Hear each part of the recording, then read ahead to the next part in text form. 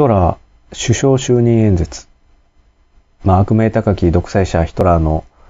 首相になった時の演説っていうんですかね。それが YouTube になぜかおすすめとして出てきたんですけど、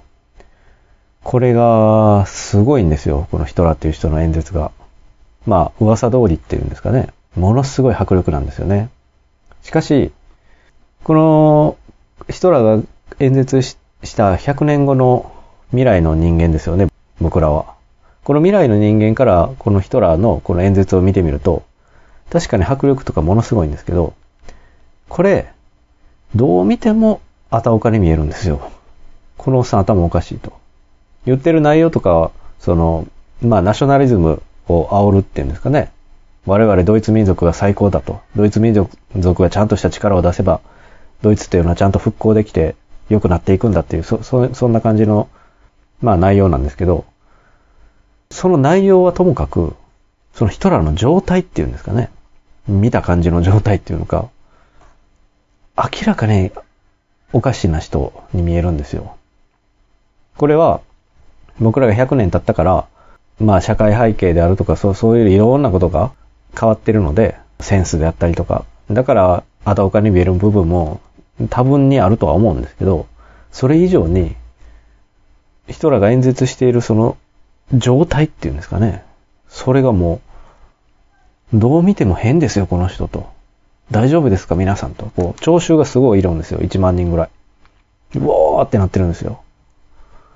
まあ、すごい、極限状態だったんですかね。まあ、ドイツは、こう、経済的にもすごい悪い状態だったようなので、そこにこう救世主が現れたみたいな感じなのかわからないんですけど、だからといって、大丈夫かこのおっさんでというふうに見えるんですよ。しかし、当時のドイツっていうのは、その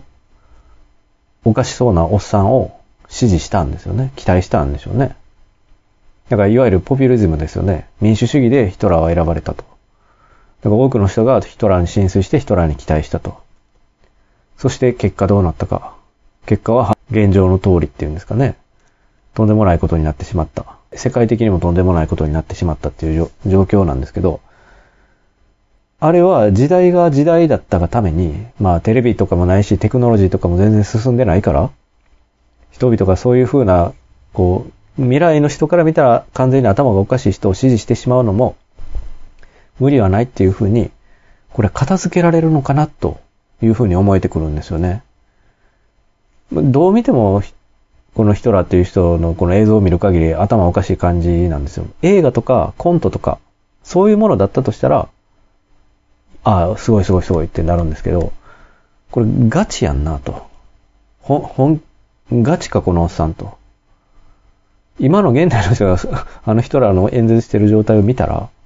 あかん、このおっさん完全おかしいと。こんな人を選挙で選んでたらあかんって。多分なると思うんですよ。怖いと。この人、演説のそういう感じを出すのはすごいけど、この人なんか怖いってなると思うんですよね。まあそれはヒトラーっていうその教育そ、そういう人がいたっていう教育があるからなのかもしれないんですけど、どう見ても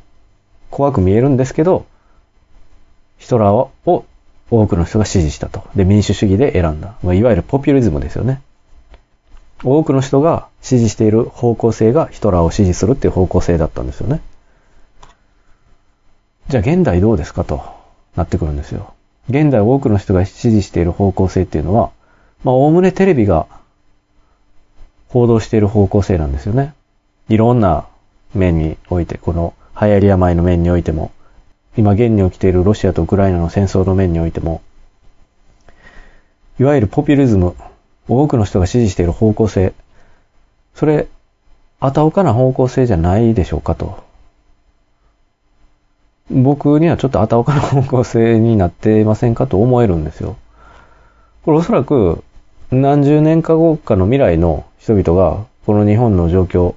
今多くの人がもうほぼマスク99%してたりとか、してる状況っていうんですかね。感染症に対する向き合い方っていうのか。これ、あたおかじゃありませんかと。だから、当時のドイツっていうのが、そういうテクノロジーとか、その人々の精神性とかが未熟だったから、ポピュリズムっていうのは、ああいう風に進んだんじゃなくて、どう、どんなにテクノロジーなり何なりが発展していこうが、ポピュリズムっていうのは、時には変な方向に行ってしまうんじゃなかろうかなと思えるんですよね。だからといって、民主主義じゃなくて、独裁主義がいいかって言ったら、そその場合はその場合で危険なんですよね、このヒトラーが。ああいう風に指示されたがために変な方向に行ってしまったと。独裁だったがためにっていうんですかね。で今現在、現状の中国っていうんですかね、その一党独裁なので、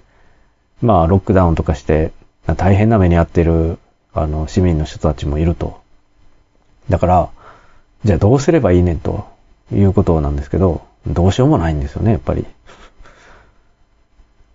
結局、